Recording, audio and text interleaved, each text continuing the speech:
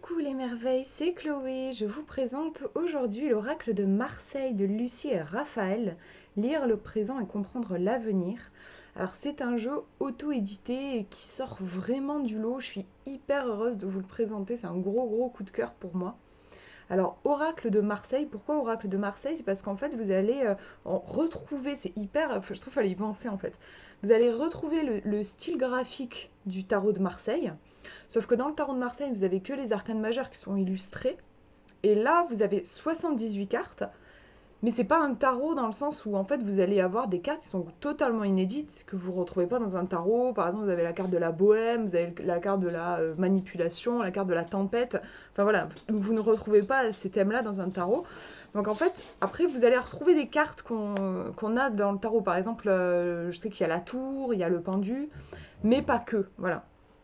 Donc c'est hyper sympa, je trouve, cette idée euh, d'avoir, de, retrouver, oui, ce style graphique qui est quand même, je trouve, assez impactant. On est vraiment dans des archétypes, dans quelque chose de... Euh, euh, je sais pas comment dire, moi je le ressens comme ça, je sais pas vous, mais moi le tarot de Marseille, il y a un truc assez frontal, en fait. et percutant, ouais, c'est ça. tout en ayant vraiment une originalité, quelque chose d'inédit, puisque voilà, vous avez des cartes que vous retrouverez nulle part ailleurs. Euh, le point, enfin, il y a plein de points forts pour moi de ce jeu. Déjà, c'est sa vision, c'est ce, cette intention qui a été posée, cette idée en fait de, de, partir du, du, style du tarot de Marseille, mais euh, en, apportant quelque chose d'inédit. Je trouve ça top. Surtout que dans l'auto-édition, je trouve que euh, on voit beaucoup de, de, projets qui sont, moi en tout cas, je, je ne sens pas de, de, réelle vision derrière. C'est-à-dire qu'en gros, les gens euh, prennent des, font des photomontages ou prennent des. En gros, c'est des images qui sont posées sur des cartes, des, images plus ou moins travaillées, plus ou moins jolies. Et puis en bas, vous allez avoir un mot-clé, voire plusieurs, du style le changement, un papillon ou quelques papillons, voilà, euh, le deuil, euh, j'en sais rien, moi, une, une tombe, enfin voilà, et quelques mots-clés aussi. Mais en fait, je j'ai des difficultés quand je me retrouve face à des jeux comme ça. J'ai une difficulté à, je sais pas comment dire, oui, à voir euh, euh, quelque chose de. C'est comme si finalement ils se ressemblaient un peu tous ces jeux. Je ressens pas de d'idées euh, inédites derrière en fait. Et malheureusement aussi souvent dans ces jeux-là auto-édités, vous n'avez pas de, de livret. vous vous retrouvez avec une carte, enfin des cartes où vous avez juste des mots-clés sur les cartes je trouve ça un peu dommage. Je me rends compte, plus ça va, plus, je, enfin, plus, les années passent, plus j'utilise les jeux de cartes, plus je me rends compte que j'aime euh, avoir un livret. Euh, pour moi, ça va être, euh, ça va donner le, ça va développer l'univers, je vais mieux comprendre l'intention du créateur, c'est hyper puissant, ça m'aide aussi en fait dans mes propres tirages. Et c'est vrai que bah, euh, ajouter un livret, euh, quand on fait de l'auto-édition, ça coûte cher. Et ajouter un livret, ça coûte cher. Donc je comprends qu'on ne veuille pas mettre un livret. Mais euh, il y a la solution de faire un PDF. Voilà, un PDF que les gens, vous leur filez une adresse et comme ça, ils peuvent aller sur ce PDF. Vous, ça vous coûte pas d'argent. En tant que créateur, enfin, le créateur, ça ne lui coûte pas d'argent parce qu'il n'imprime pas et tout ça, mais vous donnez, enfin, le créateur donne accès aux, aux, gens à, voilà, à leur vision, à leur univers, ils vont pouvoir développer les cartes, tout ça pour moi c'est quand même vachement important. Et là c'est ce qui est fait, c'est ce travail qui, est vraiment fait, on n'est pas juste sur des cartes qui sont illustrées, qui sont déjà franchement balèzes, mais vous avez aussi, alors déjà il y a un dépliant à l'intérieur.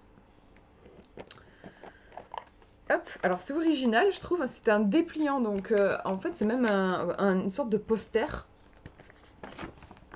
Vous voyez, et en fait, je sais pas comment ils ont réussi, mais en effet, il y a les 78 cartes. Donc je me disais 78 cartes sur un poster comme ça, mais oui, oui, ça rentre. Donc en plus, vous avez l'illustration à chaque fois. Et on n'est pas que sur des mots-clés. Ici, on a un petit texte à chaque fois. Je vous, je vous ferai une lecture. Euh, je vous tirerai une carte à la fin de, la vidéo. Et en plus de ça, eh ben, vous avez euh, sur leur site internet, alors ils vous le disent hein, au début du, euh, du, dépliant. Euh, sur www.oracledemarseille.com, vous avez encore plus de détails sur chaque carte. C'est vraiment impressionnant le travail euh, qui a été fourni. C'est hyper intelligent. Vous avez des mots-clés qui sont vachement fouillés aussi sur chaque carte. Ça permet vraiment d'avoir des pistes de réflexion, des prises de conscience. Je crois même qu'il y a un PDF qui est en cours de création euh, qui va sortir. Mais là, juste déjà, même maintenant, en plus, c'est hyper bien fait. Vous avez une barre de recherche en fait. Donc si vous voulez creuser une carte, la signification d'une carte, vous pouvez taper le nom de la carte. Par exemple, si j'ai tiré le théâtre, que j'ai envie d'avoir plus d'informations que ça, je vais sur le site, je tape le théâtre et tout de suite ça va me sortir le, texte. Vous pouvez du coup avoir euh, un, texte qui, est plus que ce que vous avez sur ce, ce livret-là. Par exemple ici le théâtre, on nous dit la carte du théâtre représente les différents rôles que nous jouons dans notre vie ainsi que les mises en scène que nous créons. Elle rappelle également que dans une pièce de théâtre, les événements de notre vie sont soumis aux caprices du destin et que nous ne sommes que des acteurs dans la grande scène de l'existence. Déjà, je trouve que le texte est bien fait, on comprend vraiment de quoi il s'agit. Il y a une histoire de euh, jouer un rôle, euh, peut-être une histoire de masque aussi. Mais peut-être que j'ai envie d'en savoir plus, que voilà, je suis un peu hésitante sur la signification que je pourrais lui donner. Bah là, je peux me rendre sur le site et, euh, et avoir encore plus d'infos. Donc, je trouve que c'est vraiment top. Euh, ils ont aussi développé, vous avez une page Facebook, je vous mettrai tous les liens dans la description, et ils font vraiment plein de trucs euh, pour, justement, je trouve, développer leur univers et montrer un petit peu la richesse qui se cache derrière chaque carte j'imagine aussi le boulot que ça doit leur demander. Donc c'est, euh, je suis vraiment heureuse quoi, de soutenir ce travail, de soutenir ce jeu, qui en plus n'est pas cher du tout. Je suis vraiment impressionnée par le prix, puisqu'il n'est qu'à 40 euros, euh, auquel il faut ajouter les frais de port. Moi je crois que du coup je l'ai payé 47 euros, un truc comme ça. C'est vraiment pas beaucoup pour un jeu euh, avec une boîte qui est solide, qui est costaud, qui va bien protéger les cartes. Vous avez les cartes qui sont d'une super qualité. Euh, avec une dorure en plus, enfin des dorures sur les tranches. Vous avez même un petit ruban d'ailleurs dans la boîte pour pas abîmer les cartes. Le, livret aussi, il est dans un papier glacé. Ça, c'est important aussi parce que sinon, euh, vous dépliez trois fois le truc et puis au niveau des pliures, ça va commencer à s'abîmer. Là, il est de qualité aussi. Euh, ouais, et quand je vois le travail, voilà, la réflexion derrière chaque carte, pour moi, ça aussi, ça se ça a un prix. Enfin, voilà, moi, je trouve normal qu'un jeu euh, qui, euh, dans lequel il y, a un gros travail, il y a tout un univers qui a été développé, bah, que, voilà, de payer plus cher qu'un jeu euh, où vous avez surtout de belles illustrations, mais pas grand-chose derrière. Enfin, moi, je suis prête à mettre un prix plus important. Et c'est vrai que je trouve que voilà, là, c'est vraiment pas exagéré. enfin, même pour moi, moi, j'aurais été capable de mettre plus cher pour ce jeu. et voilà, franchement, je suis, je suis hyper heureuse de le, de le soutenir à travers cette vidéo. Alors je vous ai pas lu avec mon enthousiasme, je vous ai pas lu le, résumé. On nous dit vous aimez le tarot de Marseille pour ses illustrations et ses mystères, vous aimez la facilité de lecture du tarot Rider-Waite et vous aimez les oracles, l'oracle de Marseille et le subtil mélange entre ces univers. Le jeu se compose de 78 cartes richement illustrées en symboles, composées uniquement d'arcanes majeures. Ouais, là aussi, au niveau du prix, c'est vrai que forcément, on va pas payer un oracle euh, enfin, on va pas mettre le même prix dans un oracle que dans un tarot. Par exemple, un oracle, en général, ça va tourner autour des 40, 50 euh, cartes. Un tarot, c'est 78 cartes quand même. Ça demande plus de travail euh, à l'illustrateur, plus de travail à la personne qui crée le livret, et puis aussi au niveau de l'impression, voilà, il y a plus de cartes qui sont imprimées. C'est normal aussi de payer plus cher. encore une fois, je trouve que vraiment le prix est, est, top, quoi. Enfin, c'est vraiment un cadeau, ce serait dommage de s'en priver, quoi. Euh, qu'est-ce que je peux vous dire d'autre? Je vous ai montré. Oui, euh, aussi sur le dépliant, vous avez quelques euh, tirages. Vous vous en avez un là. Tirage oui-non. Tirage simple. On vous propose aussi le tirage à trois cartes, passé, présent, futur. Et je crois que vous avez un tirage en croix aussi qui est proposé. Je vous montre les cartes, donc je vous ai parlé des tranches qui sont dorées, la qualité qui est vraiment chouette, les cartes qui glissent super bien. On est hop, sur un dos comme ça qui reprend euh, vraiment les couleurs du, tarot de Marseille. Hein, le tarot de Marseille avec ses couleurs très primaires, hein, euh, rouge, bleu, jaune. Euh, voilà, on est vraiment dedans. J'aime bien aussi avec l'œil, là on a vraiment l'idée que c'est le tarot qui va nous révéler des choses, dévoiler peut-être notre avenir ou aussi révéler ce qui se cache sous notre inconscient. C'est un jeu qui peut être utilisé autant vraiment en divinatoire qu'en psychologie. il est balèze, je trouve, au niveau psycho aussi. Alors elles sont complètement mélangées les cartes. je vous le dis parce que je l'ai pas mal utilisé. Donc voilà, vous voyez qu'on retrouve des, cartes du tarot.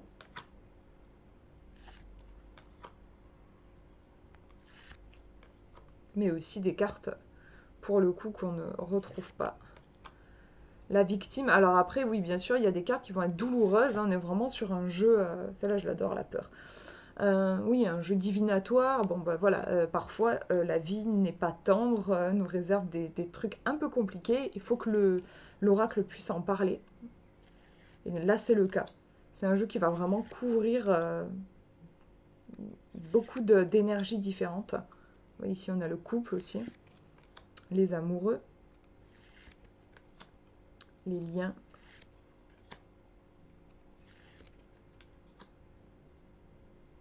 On retrouve ici voilà le côté euh, la série des coupes dans le tarot. Euh, ici c'est pour un autre personnage, pour la reine. C'est vraiment hyper bien vu, euh, je trouve le, style. C'est vraiment ce, style de dessin, mais dans des concepts jamais vus dans un tarot. C'est juste génial quoi. Enfin voilà l'architecte, les compagnons, l'esprit. Là aussi, je trouve ça génial. Les cartes sont numérotées. Vous avez une carte qui est numérotée infini. Il fallait quand même y penser, je trouve. C'est la première fois, je crois, que je vois ça dans un jeu.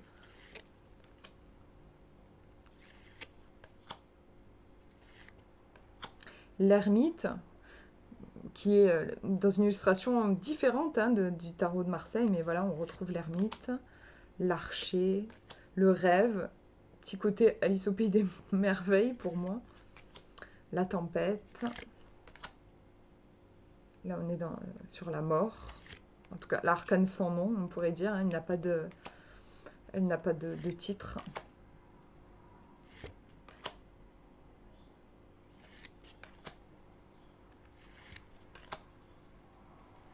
Hop là, elle, s'accroche un petit peu. Euh, enfin, elles sont glossy et bon après je les ai pas énormément utilisées, je les ai que depuis ce matin. J'étais tellement enthousiaste, j'avais envie de vous les, de vous les présenter. D'ailleurs, euh, voilà, vous les retrouverez sur la, chaîne. Hein. je vais faire des, tirages avec, forcément. J'aime bien celle-ci, l'instant présent. Elle, euh, voilà, le, personnage qui regarde dans le passé, dans l'avenir, l'instant présent, ici avec le sablier.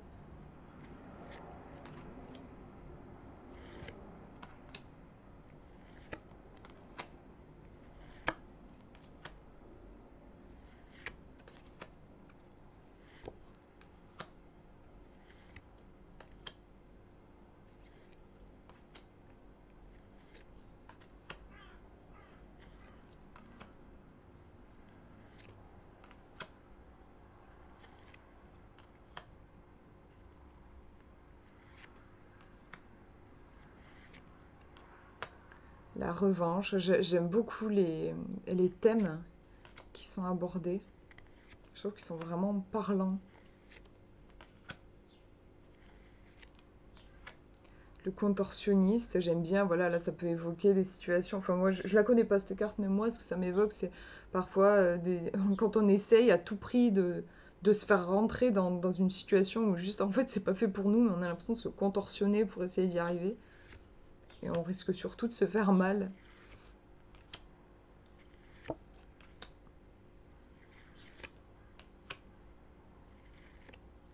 Je vous mettrai les liens vers euh, la page Facebook notamment.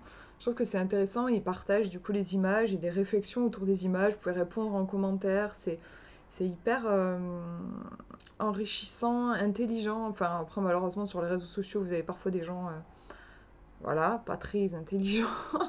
Mais en tout cas, la démarche des créateurs, voilà, on sent qu'il y a quelque chose d'intelligent. Et voilà, et je trouve que c'est, c'est chouette de. Alors, j'ai pas encore pris le temps, mais de euh, de d'échanger aussi avec eux et euh, avec les gens, les gens de la communauté euh, autour de, cet oracle, de voir vous à quoi ça vous fait penser, qu'est-ce que ça vous évoque, quelles sont les questions que ça soulève chez vous.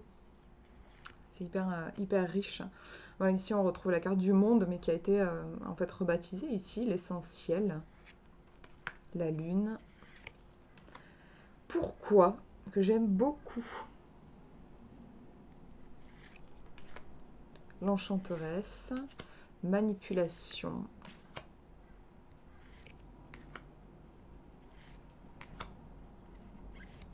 Ah oui, alors il y, y a une carte comme ça, j'ai pas d'explication dessus.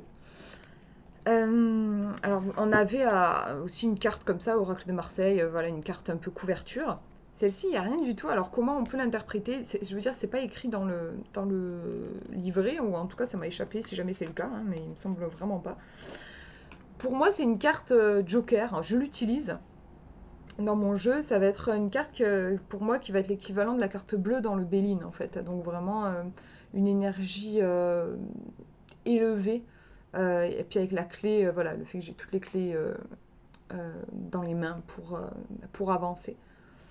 C'est une carte un peu mystérieuse, on peut lui donner la signification qu'on veut. Ou ne pas la mettre dans le jeu parce que c'est qu'elle se détache du coup, vous voyez, par rapport aux autres. hein. Moi j'ai envie de l'intégrer, mais fait comme on veut.